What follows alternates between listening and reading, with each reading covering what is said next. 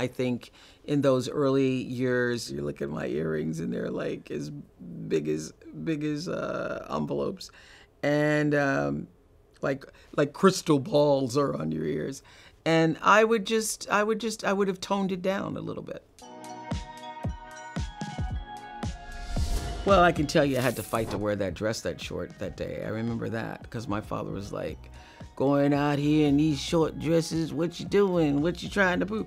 So I had to fight to wear that little plaid jumper. I love jumpers, and to this day, a white shirt is my favorite thing to wear with anything. So I considered myself pretty fashionable then, although looking back on it, I mean, it's very schoolgirl fashionable, isn't wouldn't you say? WJZ, this was my photograph for Nashville for the standard promo thing like that. And I remember doing a wash and set on my hair, drove a Chevy Chevette because that's what I could afford because I hate bills. I always hated bills, always lived beneath my means. I remember I didn't have air conditioning, so I would roll the windows down all the windows down on the way to work and let that be the dryer for my hair. So I would, and then I take the rollers out on the way to work. First day of the National Oprah Winfrey Show. It was a big moment, and trying to there there was a local designer trying to figure out what would fit, what would look good on my body, what would not be something that would be uncomfortable, what would be it was uh, a lot of thought went into the earrings, which now I think are big as envelopes. there, I had a hair person, Andre Walker, and I had um, uh, Roosevelt Cartwright was the makeup artist that day, and that that was it. There was not obviously no one dressing me at that. Obviously, nobody was dressing me but myself. Okay. Oh my gosh, this is why favorite things started in the first place. I love these pajamas so much. Someone had given them to me, and I then gave them to everybody I knew, and I ran out of people to give them to. And then somebody said, Why don't you just do a show about it? Why don't you just give them to people, just and tell other people? I said, How are we going to do that? And they said, If we can get the audience here and we can get enough pajamas for everybody in the audience, you can give out the Uggs and you can give out the pajamas and you can call it your favorite things. And that's how it started. My favorite thing to wear still to this day is pajamas. And my way of dressing is comfort first. And uh, I like anything that feels like a pajama and looks like a pajama. So these were like flannel, comfortable made me think about sitting in a corner with a fire and reading, even though I didn't have a fireplace in in um, in my home in Chicago in the apartment. But I did have a farm in Indiana, and when people would come, I would have pajamas for them to, to wear. When you come to my house, I would have pajamas of all sizes, so that you could just like cozy up. So I'm a pajama girl for sure. And there it is, the Celine suit. I wanted to wear that red suit. And Gail, who came there that day, because the whole give away the car idea was Gail's idea. And she was like, You shouldn't wear that red suit. I just think it's just too, oh no, I think it's, mm-mm, I don't like it. And I was like, I'm gonna wear the red suit because the red suit matches the red bows. And that was the best decision, that red suit. It has carried us through a couple of decades now.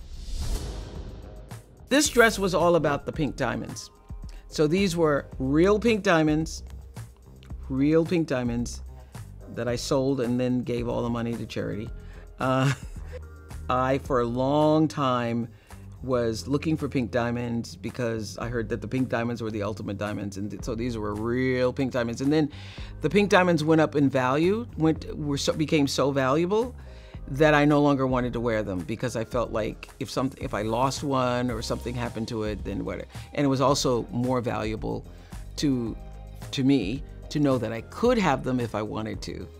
But I sold them and gave all the money to charity. I just wore it because it's long and it was flowy and I liked it. It's incredible that these young girls whom I saw something in themselves that they, they did not see or feel or know at the time are now out in the world, making their way in the world. It's the greatest reward. It is just one of the greatest rewards of my life. Oh, this was fantastic. This was Oscar de la Renta with Oscar de la Renta. Ah!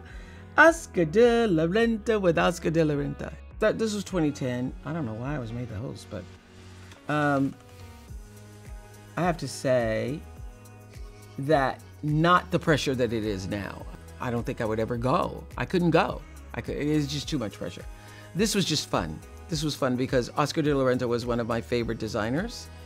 And I just thought he always so understood the woman's body and did the most feminine, beautiful, beautiful, beautiful gowns. And had I ever gotten married, actually went through with the wedding, I always wanted an Oscar de la Renta gown. So it was just a, a joy to be able to be in his presence and to have him design this dress just for me, and it was fun. Mm, we looked at lots of different things, and I wanted to go for something that was as slimming as possible, and that was, you know, I knew I was gonna, I wanted to wear my hair up. This was I was going through my ponytail phase, so I wanted something that would uh, make me look as lean as possible, along with, along with the ponytail. Um, I just loved this night so much. I just loved everything that happened because this show at the um, United Center in Chicago was the only show that I did not have a pre show meeting about, and the only show that I ever allowed my producers to do something and surprise me. So I didn't know anything that was happening that night. I just walked into the stadium and everything that showed up Tom Hanks and Jamie Foxx and Beyonce and Aretha Franklin and all that. I didn't know any of that was going on. And so the whole entire evening was a surprise to me. And the reason why that was the only time that happened is because once before, in the early 90s, I think, we they surprised me with Mary Tyler Moore. And I went into the ugly cry. And I said, nobody will ever surprise me again if you want to continue to work here. Do not surprise me. And so they actually came to me and said, "Can we please surprise you on this night?" And I, I let go. I let go on that night. Well, my favorite part of the look is the hat, man, because I, I, I, I used to I used to have when I first moved to Montecito, I had an entire hat room. I later remodeled the house and, you know, just expanded the closet. But I had a whole entire room where you step up and there'd be like walls and walls and walls of hats.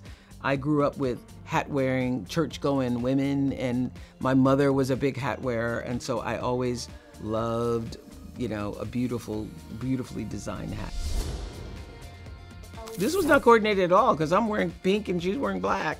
So I have no I have no idea know what what she was going to be wearing. For a huge interview like that, I just wanted to be comfortable. That's why I'm wearing flat boots. And I knew we were going to be outside, and I knew that at any time in Santa Barbara, the weather can change. You know, it can get misty or or it could cool. And this did, this was a three-hour interview that was cut down, and so I didn't. Um, I, did, I, I didn't. I, first of all, I wanted to be comfortable. I didn't want to worry about am I pulling the skirt down? Is the skirt up? What is showing? What is not?